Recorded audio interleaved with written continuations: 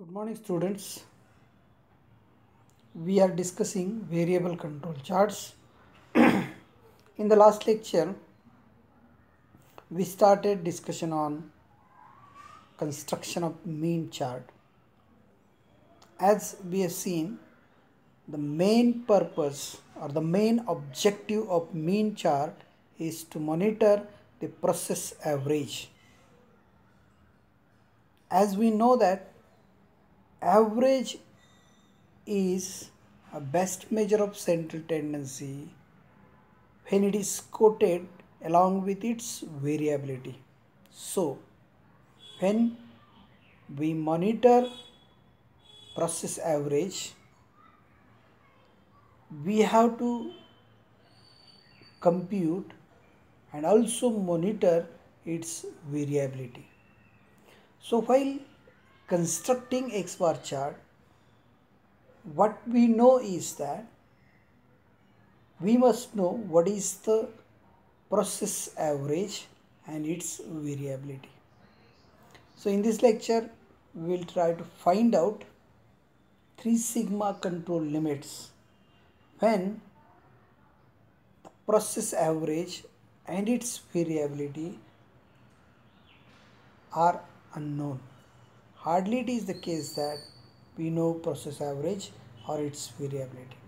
So let us start with construction of mean chart. Suppose that a quality characteristic is normally distributed with mean mu and standard deviation sigma that is x which is the underlying quality characteristic follows normal distribution mu sigma square if x1 x2 so on xn is a random sample of size n. So we are taking subgroups. After equal interval of time of the items or the products of the process and we simply inspect that products for the quality. And that measurements we denote by x1 x2 so on xn so x1 x2 so on xn these are the n measurements of a subgroup or a subsample of size n from the process. Then for this random sample mean is given by sum of all that observations divided by n. Now here we recall one of the important property of the normal distribution. When we take a random sample from normal distribution, the sampling distribution of its mean is also normal. But with a different variance.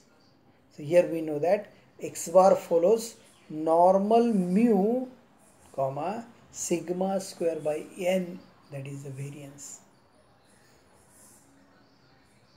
Quality characteristic follows normal distribution with parameters mu and sigma square and if we take random sample of size n from that process then its mean follow normal distribution again but with a reduced variance sigma square upon n. Now there are two cases. Case number one. If we know the value of mu and sigma square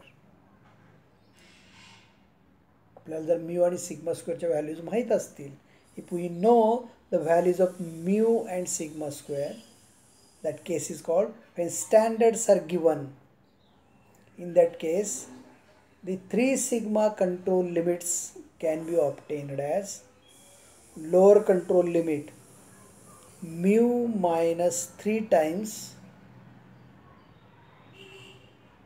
sigma upon root n. Statistic minus 3 times its standard error. Statistic is quality characteristic x bar. Our statistic is x bar sample mean. And its mean is we have seen x bar follows normal mu comma sigma square upon n. Its mean is mu and variance is sigma upon n. So standard error or standard deviation it is sigma upon root n so mu minus 3 sigma upon root n it is the lower control limit and upper control limit is mu plus 3 times sigma upon root n. So we can plug in the values of mu and sigma square into the formula of LCL and UCL. We can compute that limits and accordingly we can construct X bar chart but hardly we know the value of mu and sigma square. These are the unknown constants and we don't know the values of mu and sigma square. Who will give us the values of mu and sigma square?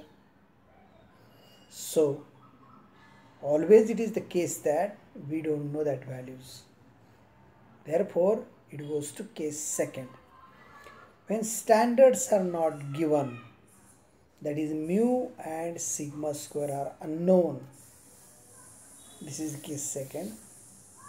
In practice usually mu and sigma square are not known are not known. Therefore they must be estimated from the preliminary samples or subgroups taken when the process is thought to be in control these estimates should usually be based on at least 20 to 25 samples. So when we don't know mu and sigma square, we have to estimate that. And for the estimation of mu and sigma square, we must have some data. Where from we will get the data. So we will take the data from the process itself. And that samples we are taking to estimate mu and sigma square, they are called preliminary samples. They are preliminary samples.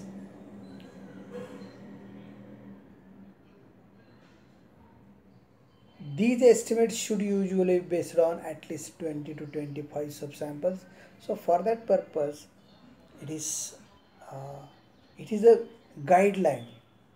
Take 20 to 25 samples. That that, that much samples are enough because uh, it holds normality. So we will take such subsamples and based on that we estimate mu and sigma square वीस ते पंचवीस असे सबसॅम्पल्स प्रोसेसमधून घ्यायचे. तर प्रत्येक सबसॅम्पलची size काय असणार? That will be small n साधारणतः एस क्यू सीच्या प्रॅक्टिसमध्ये चार पाच किंवा सहा साईजचं सबसॅम्पल प्रिफर केलं जातं. Okay so we take such m preliminary samples आता ते प्रिलिमिनरी सॅम्पल्स किती घेतो त्यासाठी नोटेशन वापरतो एम समजूया असे एम सब सॅम्पल्स तर आता आपण काय कॅल्क्युलेशन तर त्या प्रत्येक सब सॅम्पलचा मीन कॅल्क्युलेट करायचा आहे. Compute arithmetic mean of each sub sample and denote it by x bar one म्हणजे mean of सबसॅम्पल one x bar to mean of सबसॅम्पल to and so on x bar m mean of the m sub subsample so we get along with that we compute range for each subsample range is the difference between highest and the lowest observation. We have studied that in first year itself. So let x1 bar, x2 bar, so on xm bar be the sample means and r1, r2, so on rm be sample ranges of m preliminary samples. So when we take such m subsamples, we will get the data reduced in the form of averages and the sample ranges. Further, we find mean of sample means and sample ranges as given below. तर हे जे सगळे means आहेत त्या सर्वांचं mean calculate करायचं सो it is called grand mean grand mean denoted by x double bar is equal to mean of sample means summation xi bar divided by m because here are m subsamples and r bar it is equal to summation ri upon n the since इथे एक result काय prove केलेला पहा expected value of x double bar म्हणजे हा जो grand mean आपण calculate करणार आहोत त्याची एक्सपेक्टेड व्हॅल्यू काय येते तर it turns out to be mu it turns out to be mu so x double bar gives an unbiased estimate of the population mean mu अर्थात here is one new term is coined, unbiased estimate. In fact it is not part of your syllabus. So i should not refer to this particular word. But in last year's syllabus it is there. Simply what you can learn or what you can understand from this is that to know the value of mean mu or to estimate mean mu of this process we can use grand mean as an estimator. Okay? So it is an unbiased estimate. Also from sampling distribution of range we know that expected value of r expected value of r it is equal to d2 into sigma. Expected value of r is d2 into sigma, where d2 is a constant depending on the sample size. आता हा जो are आहे variable samples बदलल्या की आरच्या values बदलणार so it is a variable मग याचं expected value म्हणजे त्याचा जर मीन कॅल्क्युलेट केला तर तो काय येतो तर त्याच्या मीनमध्ये येतो स्टँडर्ड डेव्हिएशन सिग्मा आणि एक कॉन्स्टंट डी टू जो फक्त सॅम्पल साईजवरती अवलंबून आहे. म्हणजे आपण चार साईजचा सॅम्पल घेतला, पाच साईजचा सॅम्पल घेतला, तर कोणती व्हॅल्यू येते? हे त्याच्यावरती डिपेंड राहणार आहे. सो the main point is that sampling distribution of R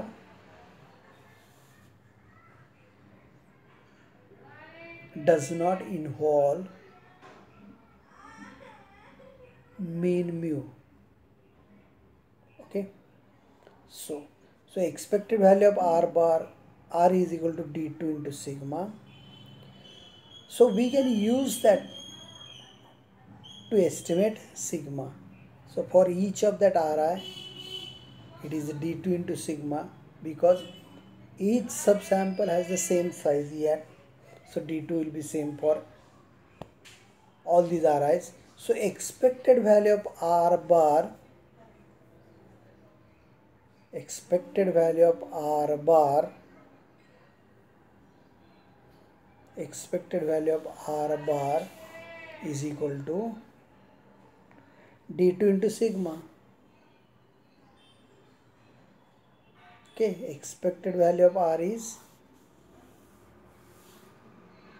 just like here expected value of x double bar we have taken So expected value of R is R bar. So R bar is equal to D2 into sigma. So expected value of R is R bar and it can be therefore written as R bar is equal to D2 into sigma. So this implies sigma is equal to R bar divided by D2. So from M preliminary samples we can compute X double bar we can compute R bar. So X double bar gives us estimate of mean mu and estimate of sigma it is R bar divided by D2. D2 is a constant dependent on size n. Okay, so in this way we can obtain thus 3 sigma control limit for X bar chart are UCL is equal to mu plus 3 times sigma upon root n. Okay. So we don't know the value of mu and sigma therefore we plug in their estimates.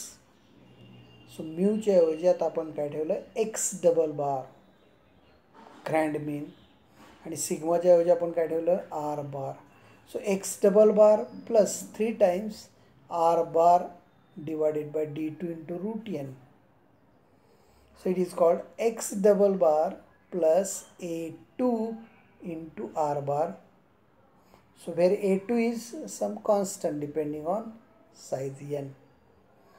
So we get UCL as x double bar plus a2 into r bar. Similarly, we get LCL, lower control limit that is x double bar minus a2 into r bar. The constant a2 depends only on sample size n and it is tabulated for different values of n from two to twenty five. म्हणजे हा जो constant A to आहे त्याच्या सगळ्या values tablet करून ठेवलेले आहेत already लोकांनी.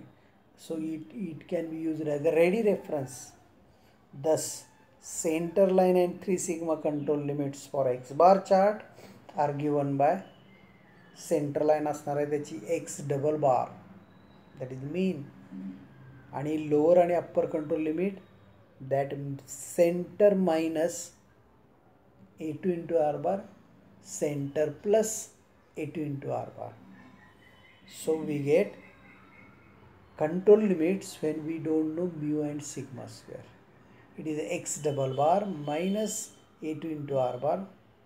X double bar as a center line and x double bar plus a2 into r bar okay in this way we can construct x bar chart when we don't know mu and sigma square so here uh, we have seen how to estimate the control limits of X bar chart for the unknown parameters.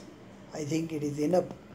Uh, in the next lecture, we will solve or we will try to construct X bar chart for a given data and some of the steps will be more clear to you when we go through that numerical example. So we will stop here. Thank you for listening this lecture. Have a nice day. Goodbye.